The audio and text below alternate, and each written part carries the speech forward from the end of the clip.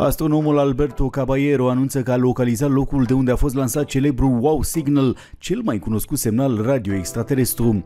În 1977, un cercetător voluntar din cadrul SETI, Jerry Ekman, era martorul unui eveniment cu adevărat ieșit din comun.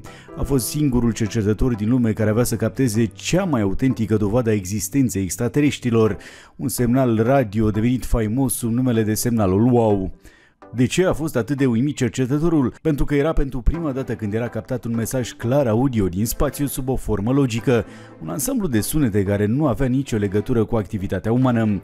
Expertul a explicat la vremea respectivă că semnalul a fost foarte aproape de frecvența de 1420 de MHz, în condițiile în care sursele naturale de radiații, cum ar fi planetele sau asteroizii, emit o gamă mult mai mare de frecvențe radio. Potrivit acesteia, semnalul a fost recepționat extrem de puternic de aproximativ 30 de ori mai intens decât zgomotele obișnuite recepționate din spațiu.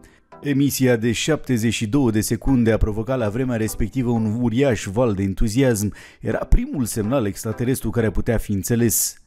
Potrivit unui studiu publicat de Universitatea Cambridge, cercetătorul a folosit arhiva de date Gaia Agenției Spațiale Europene, care conține informații despre multe obiecte din calea lactei și dincolo de ea. El a restrâns căutările la un anumit tip de sistem solar, reușind să ajungă la 38 de stele candidate.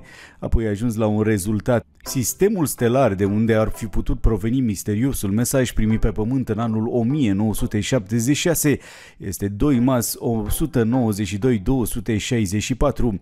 Cu alte cuvinte, dintre multele stele cercetate de unde se crede că ar proveni ciudatul semnal, acest mesaj stelar a fost singurul care a fost confirmat a fi similar cu cel solar. Dacă există o exoplanetă capabilă să susțină o civilizație inteligentă, există posibilitatea ca ea să fie aici, a declarat cercetătorul.